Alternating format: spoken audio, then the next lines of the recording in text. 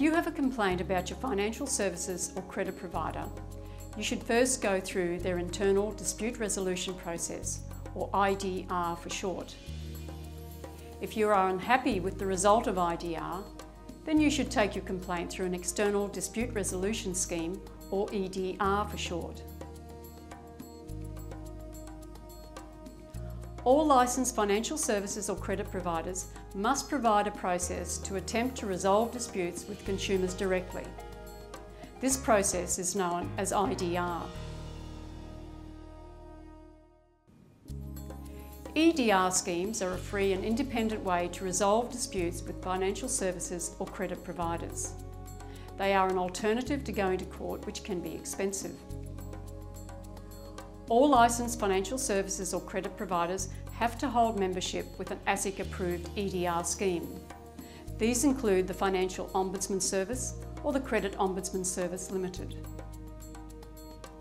EDR schemes can help you resolve your complaint with the business, often through negotiation or conciliation.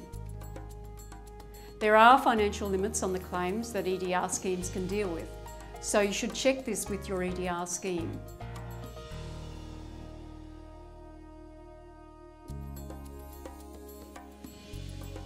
As mentioned, the first step is to try to resolve your dispute through the IDR process.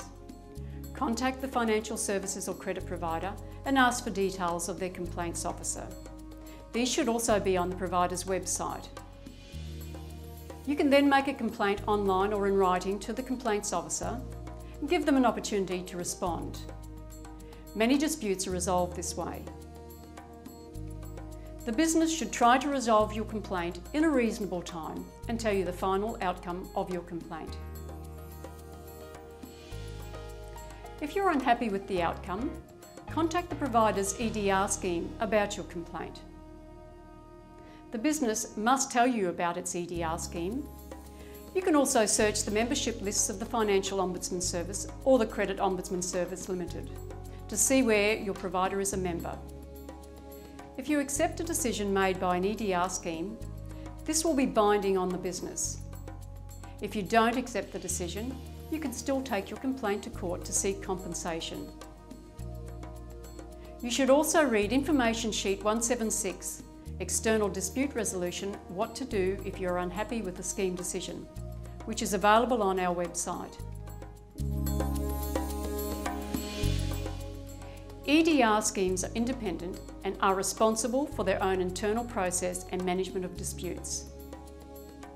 We approve the rules each scheme operates within and ensure they meet their obligations. But we cannot tell them what to do, what decisions to make, or review their decisions. ASIC does not provide dispute resolution services like EDR schemes do.